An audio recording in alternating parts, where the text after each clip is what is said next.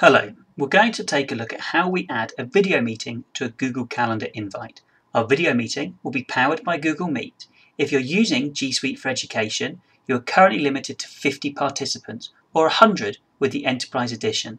To start meetings, you must be signed in to a G Suite account and your administrator must also turn on Google Meet for your organization.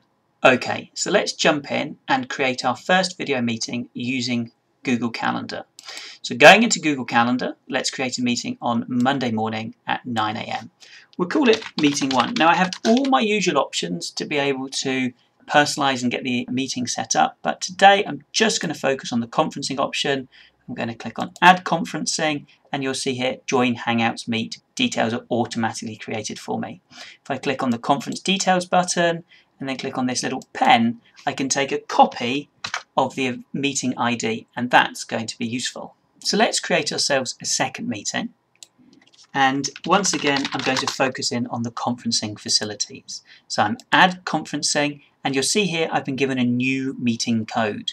This meeting ID is great but if I want to use the same code as I did on Monday, because I'm working potentially with the same group of people or on the same project, I can click on my little down arrow here to view conference details. I can edit and I can paste in the same meeting code. So I'm using the same code for multiple events. That's really useful. Anyone inside or outside your organization can join by selecting the link or entering the meeting ID into meet.google.com, just like so. However, uninvited guests who are outside your organization must be approved by a meeting participant who is in your organization and it's important to remember that people don't need a G Suite account to be able to use this facility. They just need the meeting code. So thank you very much for watching. Hope you have found it useful. Please subscribe if you'd like to hear more and follow me on Twitter at Mr. Vosser. Thank you.